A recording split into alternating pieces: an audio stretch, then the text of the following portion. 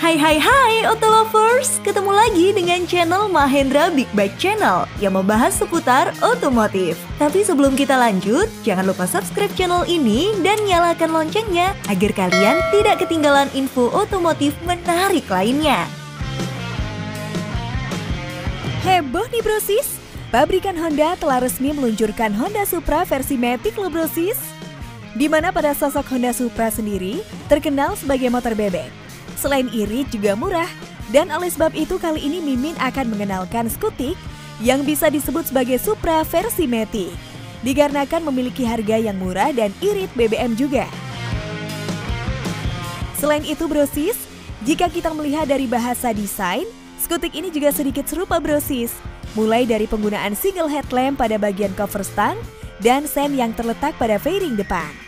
Jadi nggak heran jika skutik ini dijuluki sebagai Honda Supra Matic. Dan gak hanya berhenti di sana brosis, pada bagian panel instrumen, skutik berlabel Honda Vision ini juga menggunakan analog dan digital. Lalu beralih pada bagian dashboardnya brosis, terdapat kompartemen barang serta dek bawah yang rata, jadi skutik ini cukup multifungsi brosis. Selain itu gak ketinggalan juga pada bagasi bawah joknya yang cukup luas yang mampu menampung satu buah helm sekaligus dan terdapat juga port charging pada bagian bagasinya.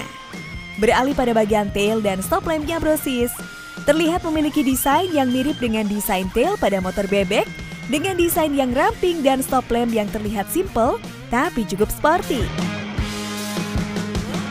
Sedangkan untuk bagian suspensi menggunakan teleskopik pada bagian depan dan velg 16 inci di depan dengan pengereman cakram. Dan pada bagian belakang menggunakan single shock dengan velg 14 inci di belakang dan pengereman tromol.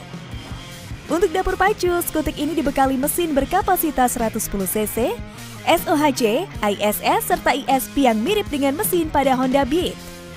Di mana mesin pada Honda Vision atau skutik berjuluk Supramatic ini memiliki tenaga sebesar 6,59 kW pada 7.500 rpm dan torsi 9,29 Nm pada 6000 rpm dengan kapasitas tangki 4,9 liter. Sedangkan untuk harga, skutik ini dibanderol cukup terjangkau brosis, yakni sekitar 16 sampai 19 jutaan brosis. Nah, jadi gimana brosis? Kalian tertarik nggak meminang Honda Vision ini atau skutik yang berjuluk Supra versi Matic ini?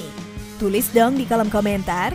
Sekian info otomotif kali ini dan jangan lupa subscribe channel ini agar kalian tidak ketinggalan info otomotif menarik dan terupdate lainnya. Mwah.